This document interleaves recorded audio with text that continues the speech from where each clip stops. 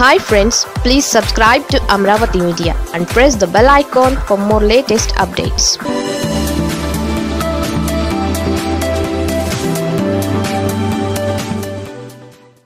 ఉక్కు సంఖ్యలతో పవన్ పయనం ఎలా? విశాఖ స్టీల్ ప్లాంట్ అన్నది ఒక సెంటిమెంట్ విశాఖ గురించి ఎవరెక్కడ చెప్పినా కూడా అందులో ఉక్కు పరిశ్రమ ప్రస్తావన లేకుండా ఉండదు. అలాంటి విశాఖ ఉక్కుని ప్రైవేటు పరం చేయబోతున్నారు అన్న వార్త విశాఖ వాసుల్లో అతిపెద్ద కలవరం రేపుతోంది.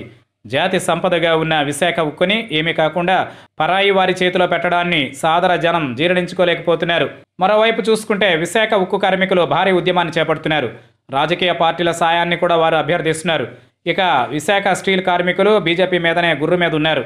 కేంద్రంలో అధికారంలో ఉన్న మోదీ స్టీల్ ప్లాంట్ని ఏ విధంగానూ ఆదుకోకుండా ఇప్పుడు సడన్గా నూటికి నూరు శాతం ప్రైవేటీకరణ చేయడానికి సిద్ధపడడం పట్ల మండిపోతున్నారు. దానికి తోడు అన్నట్లుగా ఆంధ్ర బీజేపీ నాయకుల మాటలు కూడా చిర్రెత్తించేలా ఉన్నాయి.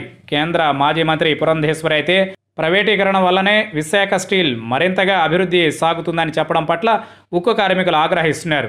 ఇక ఎమ్మెల్సీ మాధవ్ కూడా ప్రైవేటీకరణ మీద అనుకూలంగా మాట్లాడడంతో బీజేపీ అంటేనే విరుచుకుపడుతున్నారు.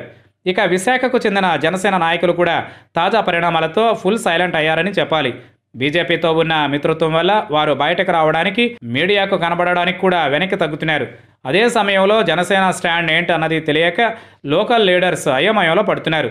ఇక పవన్ కేంద్ర పెద్దలతో మాట్లాడతారని స్టీల్ ప్లాంట్ ప్రైవేట్ కాకుండా ఆపుతారని కొందరు నేతలు చెబుతున్నా స్టీల్ కార్మికులు మాత్రం దానిని నమ్మడం లేదు. దాంతో అఖిలపక్ష సమావేశాలకు జనసేన రాకుండా తప్పుకుంది. పవన్ కళ్యాణ్ కూడా ఢిల్లీ వెళ్ళి వచ్చారు మరోవైపు స్టీల్ ఉద్యమాన్ని అడ్డుపెట్టుకుని రాజకీయంగా ఒకరిని ఒకరు కార్నర్ చేసుకోవాలని టీడీపీ వైసీపీ చూస్తున్నాయి. తప్పంతా మీదంటే మీదని దుమ్మెత్తి పోసుకుంటున్నాయి.